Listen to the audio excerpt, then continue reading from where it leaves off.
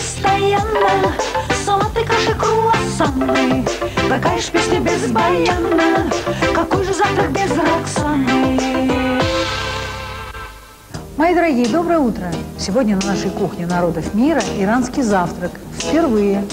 У нас в гостях сегодня повар из ресторана «Империя» Карим.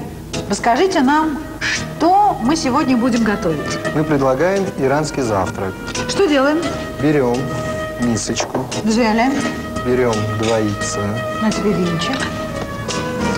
вбиваем яйца, Это сюда. Так. мгм. Должны взбивать это, да? да, обязательно. А как называется этот завтрак? Этот завтрак называется фрукты, жареные в кляре. Если так уж брать, э, джаз-баз по-ирански. Джаз-баз. Хорошо. Значит, Взбиваем. До, до какого? До пены или как? Или чуть-чуть? Нет, чуть-чуть взбиваем. Просто размешиваем, да? Да, просто. Теперь сюда добавляем молоко. Му- Нет, добавляем муку. Даже большой ложкой. Да, Сколько? Одну? две. Две.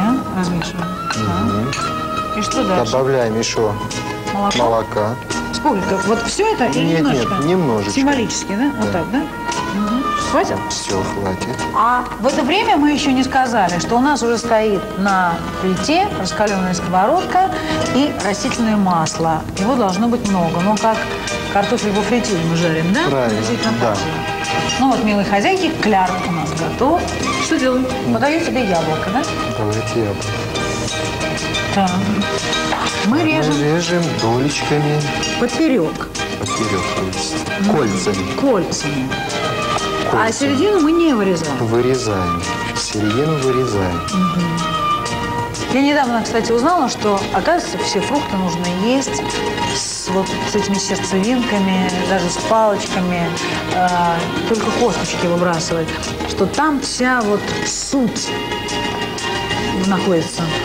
Я думаю, что взрослые, конечно, это будут есть с удовольствием, но если этим побаловать и малышей, то они не откажутся. Потому что некоторые дети не очень любят фрукты, а вот в сладком кляре это уже совсем похоже почти пирожное. Теперь что делаем? Теперь мы берем яблочко, опускаем в кляре, На тебе ложечку или вилочку. вилочку лучше.